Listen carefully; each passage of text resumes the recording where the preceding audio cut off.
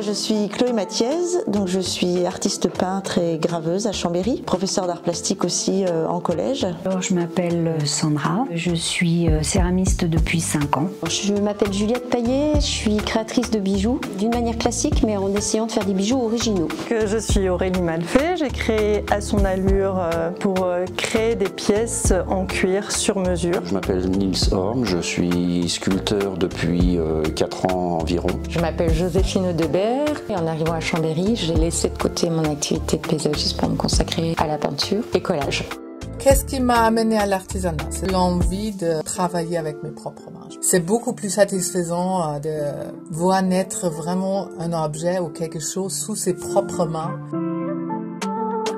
Depuis trois ans, donc, on a ouvert la galerie Caractère, qui est rue Basse du Château, donc une des rues les plus anciennes de Chambéry. Six artistes associés, on a créé une association. C'est euh, vraiment un lieu de vente. On est entre la galerie et la boutique. On appelle ça une galtique. On trouvait ce nom assez poétique. On a une vraie place chacun en fait dans l'espace de la galerie. On fait des permanences à tour de rôle dans la semaine. On s'en sort plutôt bien et euh, on est très heureuse de, de ce projet. C'est un endroit spécial parce qu'on a cherché dès le départ à associer euh, artistes artistes et artisans avec euh, un degré de création et de capacité à créer très raffiné. Donc on a tous nos univers, on fait des choses très différentes les uns des autres et en même temps on est en harmonie. Ça consiste au travail de la terre et je pratique euh, toutes les techniques, le tournage, le modelage, le coulage, le travail à la plaque, l'estampage. En fait, la matière, c'est en deux dimensions et en trois dimensions parce qu'on a l'aspect visuel euh, du tableau et puis on a quand même l'aspect du toucher, de la sensibilité, de quelque chose de vivant en fait. C'est super satisfaisant de sortir quelque chose de ses doigts. En maroquinerie, je peux faire des sacs, des porte-cartes, euh, des ceintures, euh, des colliers de chien, des sacoches, bridons de garde républicaine, enfin des choses un peu techniques. C'était une vocation. Depuis que je suis euh, gamine, je bricole, euh, je travaille les matériaux. J'ai toujours aimé l'esprit miniature. Je pense que c'est une des raisons pour laquelle j'ai fait du bijou et j'aime le métal.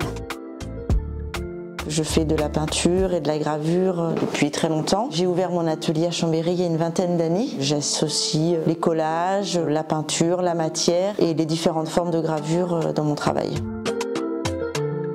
retravailler bah, les courbures pour qu'elles soient euh, vraiment parfaites avec la, lumière rasant. Ça permet de faire ressortir tous les défauts.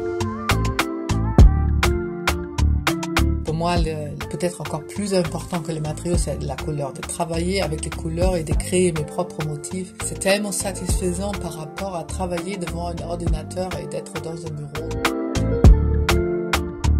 C'est un travail qui est lent et c'est ce qui me plaît euh, avec cette matière. Par exemple, pour faire un bol, il faut compter environ deux semaines. C'était pas mon métier initial, c'est une reconversion. Le fait de, de, faire avec ses mains un temps euh, décalé par rapport au temps euh, de la société qui est un peu trop speed pour moi.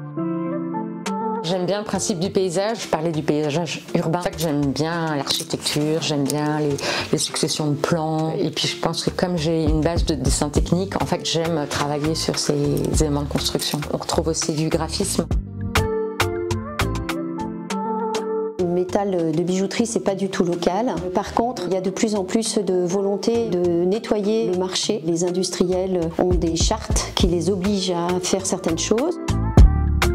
Je travaille essentiellement des cuirs tannage végétal, des peaux donc de vache. Tannage végétal parce que c'est plus respectueux de la matière et de l'environnement. Pour mettre un peu de fantaisie euh, dans mes créations, avant j'utilisais justement ce tannage chrome. Et maintenant j'ai trouvé un tanneur euh, sur Lyon qui récupère les peaux des saumons et des truites sur les sushi shops de Lyon et qui les tanne sur place. Du local, du recyclage de l'alimentation, tout ce que j'aime tissage, il n'est pas très connu. Il y en a un seul magasin, un magasin en ligne qui vend tout ce qui est autour du tissage. Mais il y en a autrement, non. Il n'y en a pas de matériaux, des outils que je pourrais acheter ici. Et pareil pour les laines, malheureusement. C'est un très grand problème qu'il y en a la région ici, c'est pas vraiment euh, connu pour, les laines, pour la production de laine, même pas du tout. Euh, la laine ici, en grande partie, c'est brûlé parce que les gens ne savent pas quoi faire avec. Je suis membre d'une association qui essaye de revaloriser les laines du coin.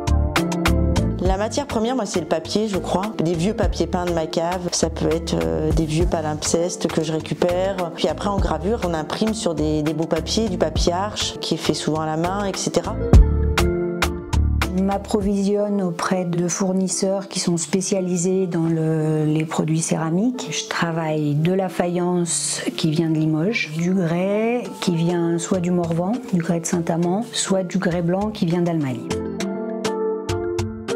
J'ai beaucoup de papiers de récupération, parfois que je peins, que je teinte ou que j'utilise tel quel. Des papiers euh, de journaux, d'emballage. Après, j'ai des papiers plus sophistiqués, j'ai parfois des papiers japonais. C'est quand même important cette matière première parce que souvent, euh, le papier qui vient d'ailleurs, il vient avec son histoire et du coup, il se superpose à quelque chose d'autre. Et puis pour moi, ils ont une valeur ces papiers.